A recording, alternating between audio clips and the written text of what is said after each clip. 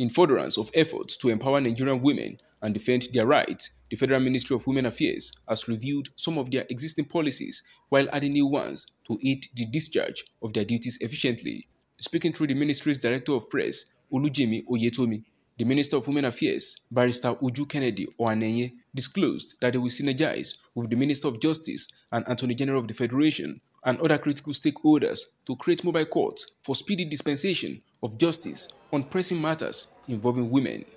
In collaboration with Federal Ministry of Justice and the Attorney General of the Federation and Honorable Minister of Justice, the Governors Forum, the Chief Justice of the Federation, civil society organizations, the ministry has decided on an innovative way to enforce the Violence Against Persons Pro Prohibition Act, gender-based violence, sexual and gender-based violence, female genital mutilation, violence against children, to justice by having mobile courts for quick dispensation of justice for survivors of the for the for the survivor of the voiceless.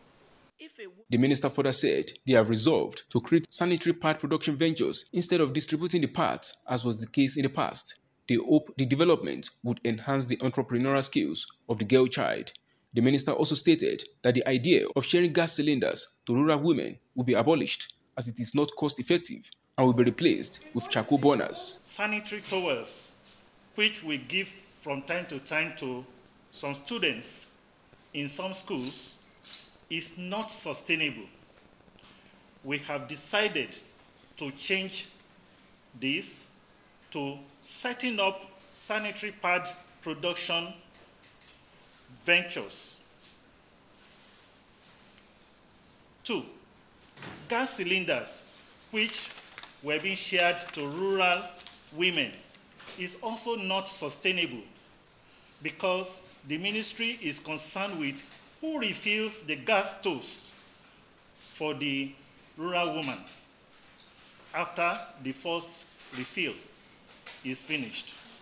The gas cylinders, therefore, is going to be changed to charcoal burners and biogas Meanwhile, the minister received representatives of National Association of Nigerian Students, NANS, and other stakeholders who expressed solidarity with Barrister Ohanenye on the burning issue of sexual harassment in some Nigerian university campuses. My name is Comrade Usman Babakankia, the National Secretary General from the greatest and the best university in sub-Saharan Africa, Ahmadu Bello University Zaria. We want to once again thank our mommy, the Honorable Minister of Women Affairs, for supporting Nigerian students in this fight against gender. And what we want to tell you that we are with you and will cooperate with you 100% to achieve this goal. On behalf of um, the National Youth Council of Nigeria, Enugu State, we're standing with the Honorable Minister for Gender to end sexual abuse in our campuses and even in our communities. I am Comrade Omoni Princess Alice. On behalf of Association of Nigerian Female Students, we have decided to stood our ground to stand by the Honorable Minister to fight every gender-based violence sex for grade, every sexual harassment across institution of learning in Nigeria. Acknowledging their presence in the ministry, Barrister Ohanenye said the ministry and the students have resolved to take joint action to combat the issue of sexual assault in institutions of higher learning in the country. The minister said they will leave no stone unturned while trying to actualize justice in the sexual harassment case at University of Calabar. The students, together with the Ministry of Women Affairs, have decided that justice must be done in any case and actions, judicial actions must be taken so that that person will be called to order and others will learn from it. So we are starting this with the Calabar case because that is the trending thing right now.